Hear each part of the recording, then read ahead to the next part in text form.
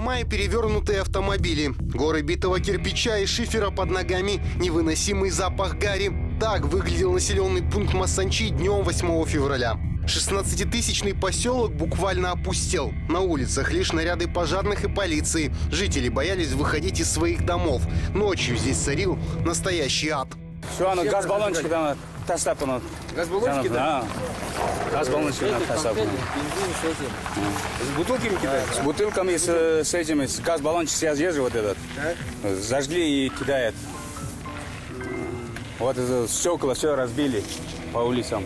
Там снизу еще есть несколько дом. 10 или 15 домов все сгорели. Дотла ничего не остались. Люди сейчас без крови. Именно Масанчи стал первым населенным пунктом, на который свой выбор остановили погромщики. Массовые беспорядки, поводом для которых послужил бытовой конфликт, начались именно здесь. В полицию поступил звонок о том, что на окраине села Масанчи собрались 70 агрессивно настроенных жителей, между которыми началась драка. Позднее к ним присоединятся еще три сотни человек из соседних сел.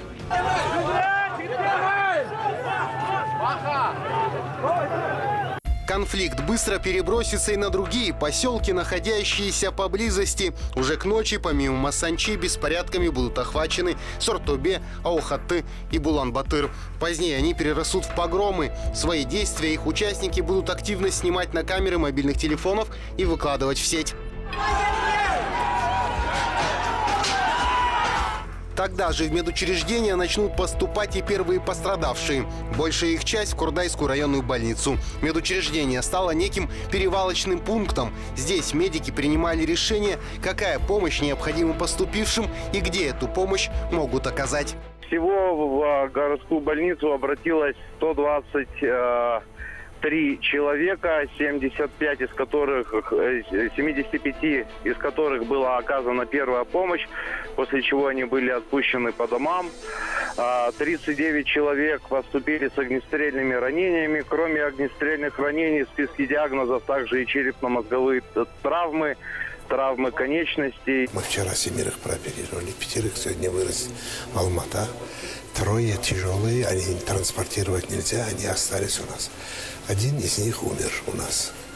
Вот. Остальные в хирургическом отделении, 29 человек, они все живы, здоровы.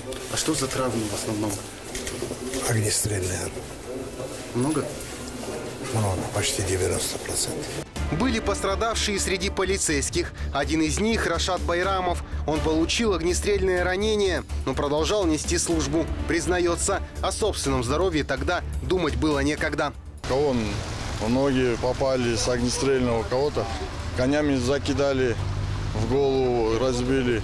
Ну, как все равно мы сделали первую медицинскую помощь, оказали нам всем.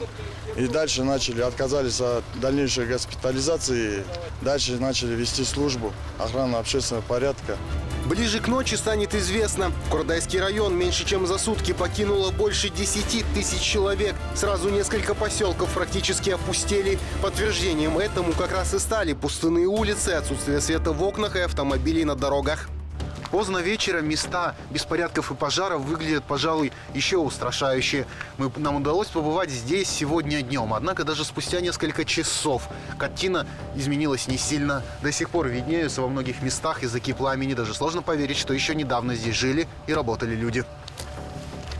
Позже выяснилось, что почти все жители четырех населенных пунктов застряли на границе с Кыргызстаном. К такому потоку людей сотрудники пропускных пунктов были явно не готовы. Тот дальний огонек все до него, не знаю, насколько видно, это все автомобили, их здесь очень много. Также сейчас попрошу, не знаю, насколько видно, вот еще транспортные средства, они также здесь стоят. Многие автолюбители уже оставили свои автомобили, лишь бы уже в пешем порядке хоть как-то преодолеть границу. Вот так, всего за сутки в ходе массовых беспорядков погибли 10 человек, больше 100 пострадали. Принимали соболезнования и в этом доме в ауле Альжан-Ана. 24-летний Дархан Абдрахым погиб в первые часы беспорядков в Масанчи. По словам его отца, в ту ночь сын сообщил ему, что привез пассажиров из Алматы в Курдайский район и пообещал вскоре приехать домой. Но затем связь с ним пропала. Позже разбитую машину Дархана обнаружат на заправке в Масанчи. Документов в салоне не найдут. У Дархана осталось двое маленьких детей. Состояние жены и мамы Дархана в комментариях, кажется, не нуждаются.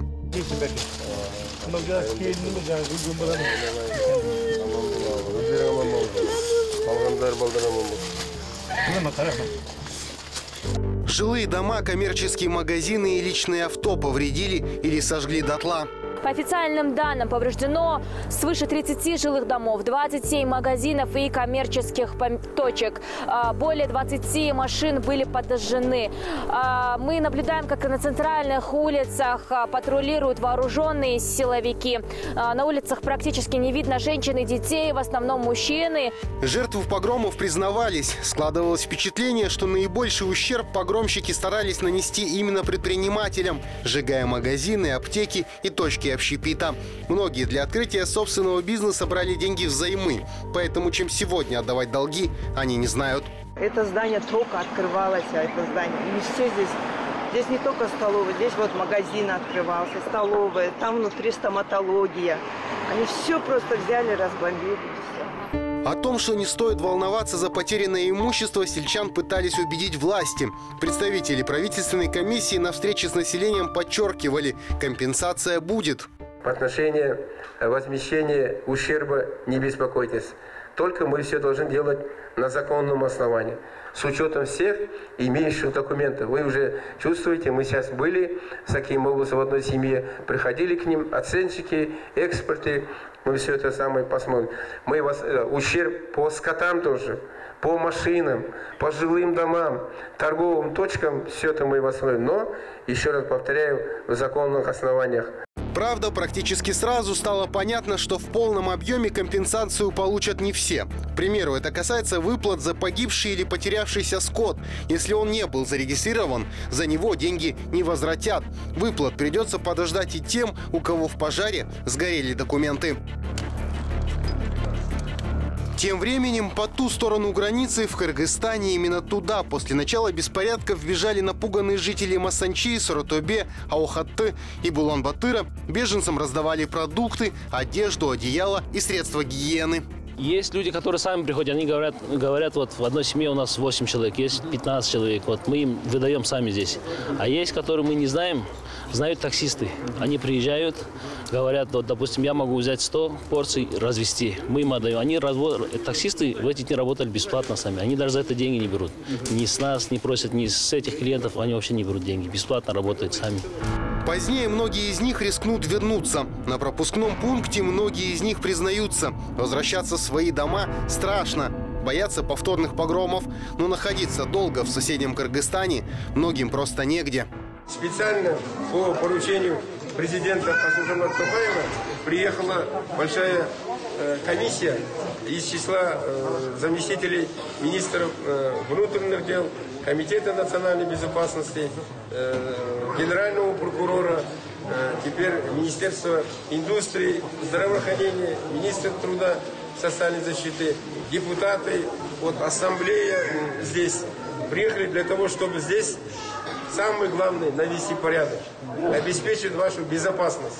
Вот с таким мы области мы ночью здесь э, ездили по всем этим э, пяти населенным пунктам, везде было спокойно.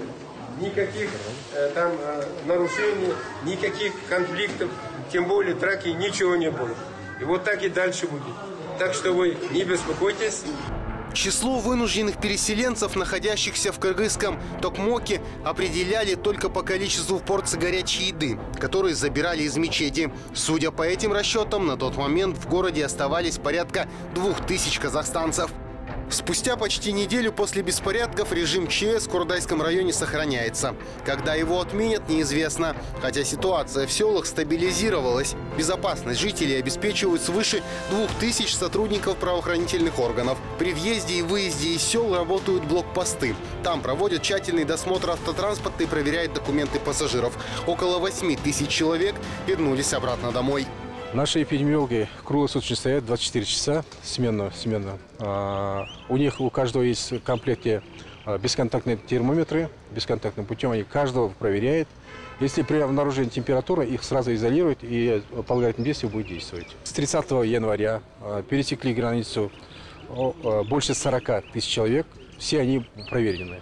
А на- на сегодняшний день температурщик нет. С начала недели в районе возобновили работу все социальные объекты и торговые точки. На сегодня школы пострадавших сел посещают более трех тысяч учащихся. В детских садах из 1600 дошколят обучаются меньше половины. Многолюдно сейчас и в мобильном ЦОНе. Ответственные специалисты работают в усиленном режиме. Свидетельства о рождении и удостоверение личности восстанавливают всего за сутки. Для получения компенсации сельчане подают заявление на восстановление документов сгоревшего имущества. В свою очередь, 9 групп специалистов провели обследование объектов недвижимости в селах Аухатты, Масанчи, Соротубе и составили акты. Оценщики подсчитывают сумму нанесенного ущерба. Работа ведется с первого же дня после чрезвычайной ситуации. И на сегодняшний день уже начаты работы по составлению дефектных актов. Существует некоторый ряд проблем, потому что не все жители еще до сих пор вернулись в свои дома, и есть такие объекты, куда наши оценщики попасть не могут. Тем временем чистку в рядах чиновников провел сам президент страны. Сменилось практически все руководство области, включая силовые структуры и надзорные органы. Им и предстоит устранять страшные последствия курдайской трагедии. В первую очередь позаботиться о семьях жертв, оказать всю необходимую помощь пострадавшим, а также найти истинных виновных, зачинщиков и провокаторов. Но самое важное – это сделать правильные выводы и приложить максимум усилий для того, чтобы подобное больше никогда не повторилось.